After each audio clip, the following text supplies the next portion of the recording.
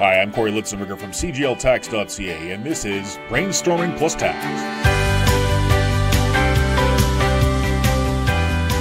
In this episode of Brainstorming Plus Tax, we're going to take another look at the tax on split income rules. However, this one's going to be a little more technical than the last one.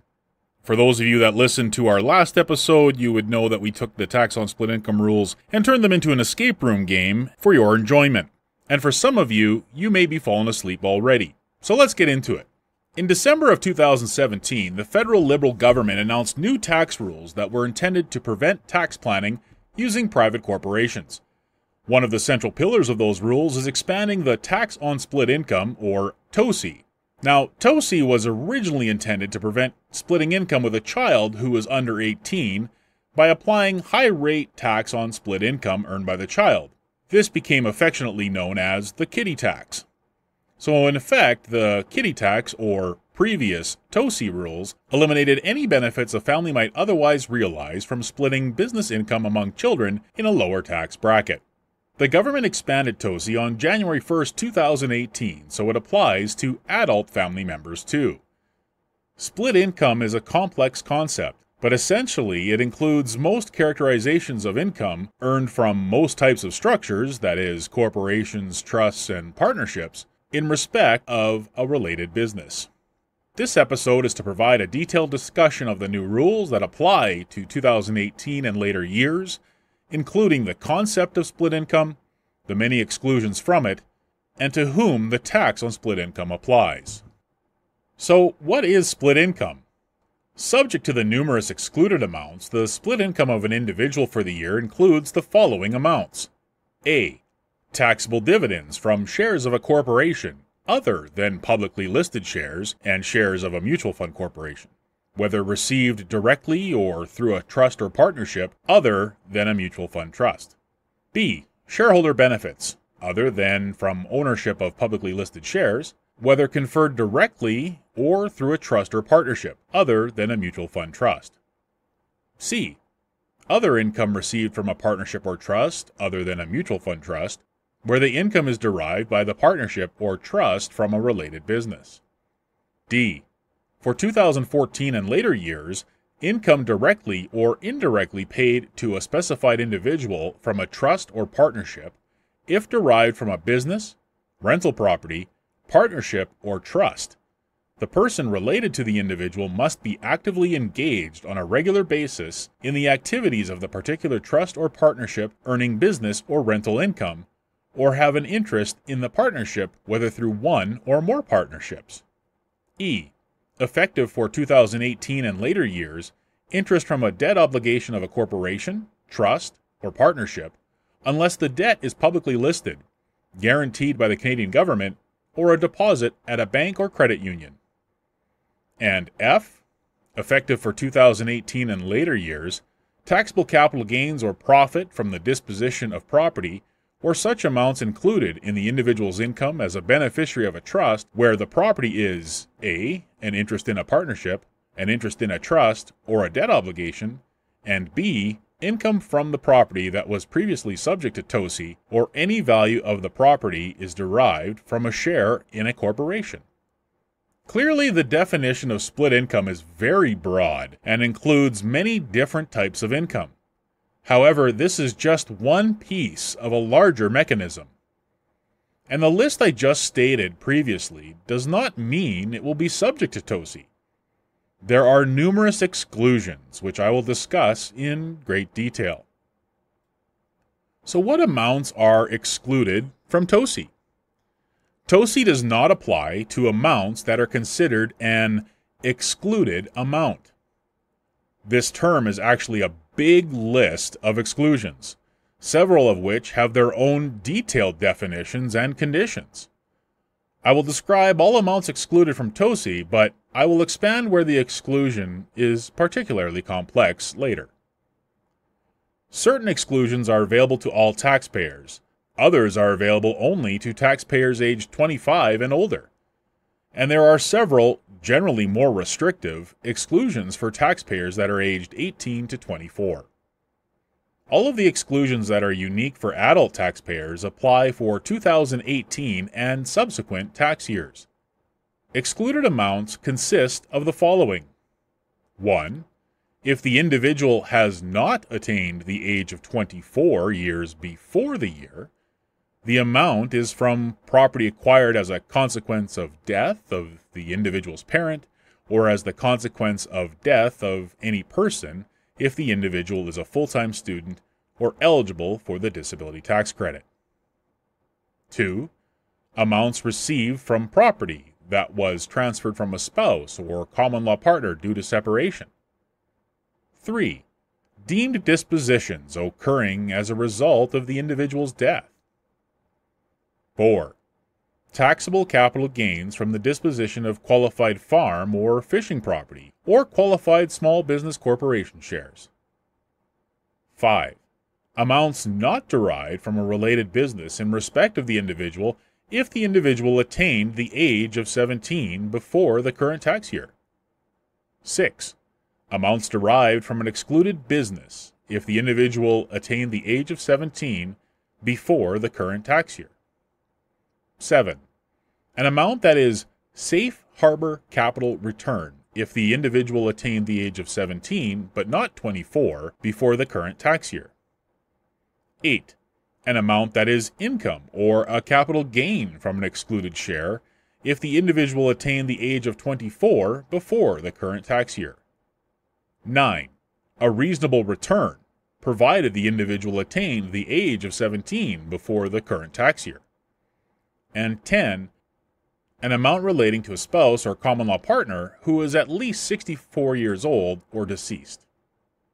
Now, amount 5 is a particularly important exclusion because it excludes all amounts that are not from a related business. As such, amounts that are from a related business are subject to TOSI unless one of the other exclusions is met. Let's talk about related business. The definition of a related business is generally the starting point for determining whether the TOSI applies to split income amounts received by a taxpayer. If the amounts are from a related business, generally the next step is to determine whether any of the other exclusions I previously stated apply. So, what is a related business? Well, in simple terms, split income from a related business can be thought of as income earned by the individual from a business of a source individual. Now, a source individual is an individual who is related to the specified individual and is resident in Canada. That is, the specified individual is the person who receives split income, and the source individual is the person running the business from which the split income is derived. If the split income is from a related business, it is subject to TOSI unless it meets another exclusion. Note that for the purpose of these rules, spouses or common law partners who are living separate due to a marriage breakdown are not considered to be related. A related business in respect of an individual includes a business carried on by a source individual or a partnership, corporation, or trust if a source individual is actively engaged on a regular basis in the activities of the partnership, corporation, or trust related to earning income from the business. A related business also includes a business of a partnership in which the source individual has an interest. A related business also includes a business of a corporation if the following conditions are met at any time in the year. A the source individual owns shares of the corporation or some property that derives its value from shares of the corporation. And B, the source individual's total value of property referred to in A is greater or equal to 10% of the fair market value of all the corporation's issued shares. If the individual receives split income from a related business, TOSI will apply unless any of the other exclusions I previously listed are met. Note that the related business exclusion applies only where the individual attained the age of 17 before the year. Thus, where a minor under 18 in the year receives any income amounts that are split income, the amounts can be subject to TOSI, notwithstanding other potential exclusions, even if they are not from a related business. So now we need to look at excluded business. So, what is an excluded business? The definition of an excluded business can apply to individuals who attained the age of 17 before the current year. This exclusion essentially applies where, in the government's view, the individual has contributed a sufficient amount of labor to the business to justify the income as compensation. An excluded business is a business where the individual is actively engaged on a regular, continuous, and substantial basis in the activities of the business in the current year, or in any five prior years. An individual is deemed to be actively engaged if the individual works in the business at least an average of 20 hours per week during the portion of the taxation year of the individual that the business operates, or met this requirement for any five prior years. Again, the five prior tax years does not need to be consecutive, just a total of five. In any other case, whether an individual is actively engaged depends on the facts and the circumstances. Should an individual split income be received from an excluded business, all of that income is exempt from TOSI. Where the individual attained the age of 17 but not 24 before the current tax year, there is an exclusion for what is called safe harbor capital return. Now, subject to other exclusions, safe harbor capital return places a limit on how much income can be split with young adult family members before TOSI applies. Safe harbor capital return is exempt from TOSI and cannot exceed an imputed rate of return on the fair market value of capital contributed to the business by the individual. The product of the value of contributed capital and the highest quarterly prescribed rate published by the CRA in the year, which is currently only 2% at the time of this broadcast, is the safe harbor capital return that an individual can receive without applying TOSI every year. Now, safe harbor capital return is a factor of arm's length capital, which we will get to shortly. Now, the excluded share exclusion only applies if the individual attained the age of 24 before the current year. When it comes to excluded share, this definition is cumbersome, and there are several conditions that must be met for this exclusion to apply. But if the individual's split income is found to be from an excluded share, then all of that income is not subject to TOSI. The individual's shares are excluded shares if A. Less than 90% of the business income of the corporation for the most recent taxation year of the corporation that ended was from the provision of services. B. The corporation is not a professional corporation, i.e., the professional practice of an accountant, dentist, lawyer, medical doctor, veterinarian, chiropractor. C. The individual owns the shares of the corporation that give the individual at least 10% of the votes and at least 10% of the fair market value of the corporation. And D, 90% or more of the gross income of the corporation for its most recent tax year is not derived from any related business of the individual other than the corporation's own business.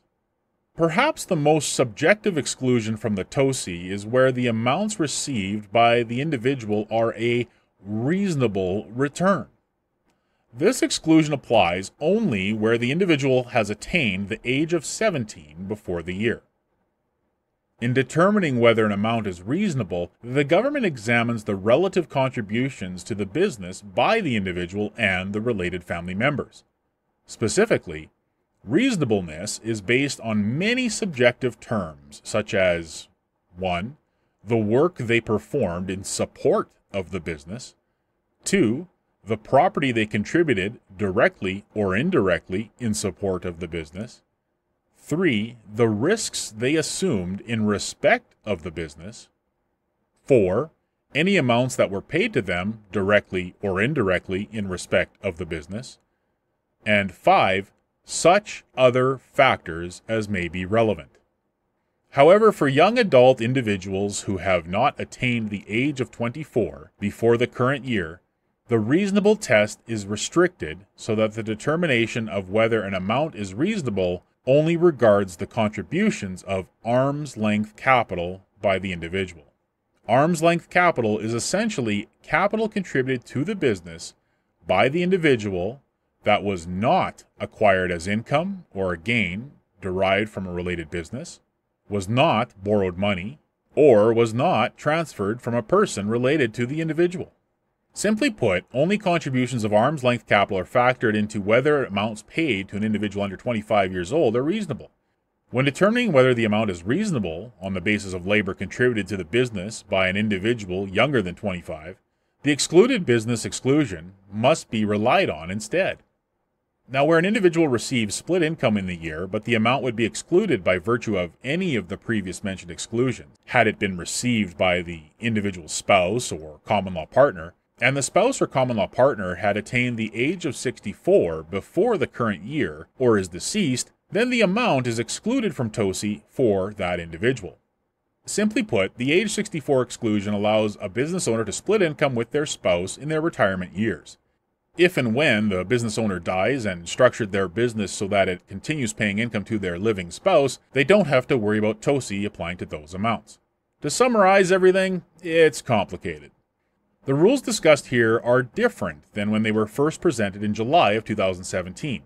These rules were and are very controversial, so much so that the government revised their July 2017 proposals five months later in December of 2017.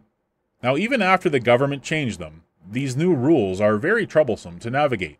They can affect a wide variety of business owners who pay income to their family members, and it is not an exact science to determine where income splitting ends and TOSI begins. Therefore, going forward, it is important to consider these new rules when paying income from your business to any family members. Perhaps seeking advanced tax advisors like ourselves is warranted. And with that, for CGL Strategic Business and Tax Advisors, I'm Corey Litzenberger. Thanks for listening.